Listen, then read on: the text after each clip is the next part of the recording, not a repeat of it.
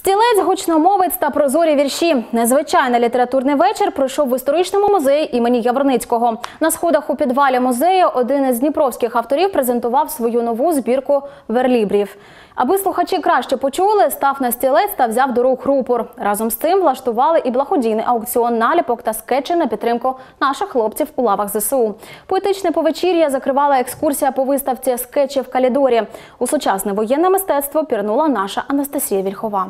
Кожний поет має при собі кастет, як остання надія біля ліхтаря. Сова полює, пролітаючого повз кажана.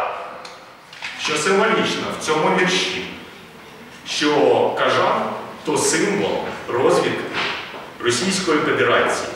Сова то символ нашої розвідки. І я бачив, як сова полювала підлогу. Амбасадор авангардної поезії та євангеліст сучасного мистецтва. Так називає себе Олександр Шакіров. Дніпровський поет днями презентував збірку власної поезії. На папері замість фарби вирізблені лазером літери, що складаються у верлібр. Це унікальна техніка, котру ще ніхто в світі не робив. Я перший таке зробив. Я нарізав всі вірші лазером, тому вони називаються прозорі. Для мене спеціально я зробив дизайн коробки, де вони зберігаються. Ну, Коробка то тиснення білим золотом іде і магнітний замок. Мінімалістичний вірш досі. Досі. Така збірка в автора вперше. Повністю україномовна читанка налічує з десяток віршів. Збірку в автора можна придбати за собівартостю 908 гривень. Кожен е, знайде там і кохання, і звитягу, і боротьбу, і, і якісь свої внутрішні переживання, котрі їй допоможуть, як і поезія, в важку годину. Після презентації екскурсія всеукраїнською виставкою скетчів в Калідорі. На ній художники зі всієї країни зобразили маленькі радощі життя та переживання, які супроводжують нас під час війни. Свою роботу презентувала і Ніна Йожик. Вона евакуювалася з Харкова. Першим воєнним холстом для неї став шматок старої, погризаної мишами шпалери.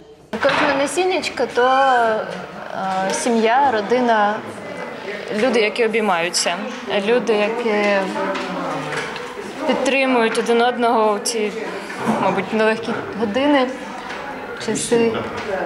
А, мені важко було, мені хотілося щось малювати патріотичне, я не знаю, щось на злобу дня, але я не змогла малювати щось про насильство. Загалом на виставці півтори сотні скетчів. Там малюнки художників та історії життя, у якому люди працюють, п'ють каву, вигулюють чотирилапих друзів. Про них розказала Тетяна. Вона гід виставки.